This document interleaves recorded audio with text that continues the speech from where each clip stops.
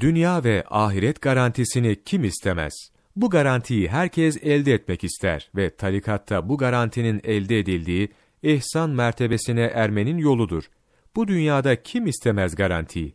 Bugün Türkiye'nin en zengini olan kişi birine, senin hayat boyu bütün geçimin bana ait, her ay sana şu miktarda para vereceğim diye teminat verse, o kişi hayatını maddi açıdan garantiye aldığı için memnun olur.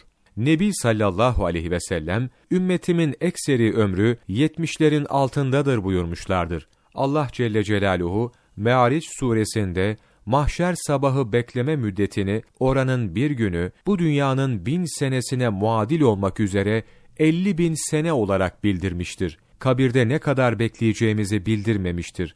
Yalnız Nebi sallallahu aleyhi ve sellem, Hak Teala Hazretlerinin kendisine ümmetinin kabirde çok beklememesi için en son ümmet yaptığını bildirdiğini beyan buyurmuştur.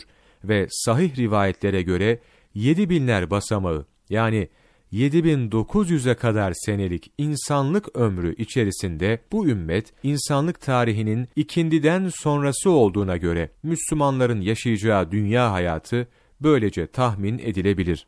Yani kısacası 70 senelik dünya hayatı için verilen maddi bir garanti insanın hoşuna giderken, şu kadar dünya hayatı, belirsiz bir kabir süresi, 50 bin sene mahşerde geçecek süre ve Allah Celle Celaluhu muhafaza buyursun, imanlı olduğu halde cezası miktarınca cehenneme gireceklerin orada kalacağı süre kadar bir zaman dilimi için verilecek garanti, kimin hoşuna gitmez?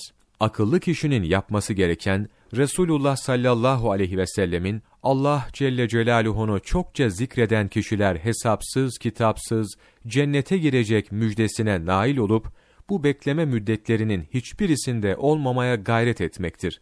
Bunu elde etmenin yolu bir tarikata girmek ve bir mürşidi kamilin terbiyesi altında bulunup kalbi tasfiye ve nefsi teskiye etmektir.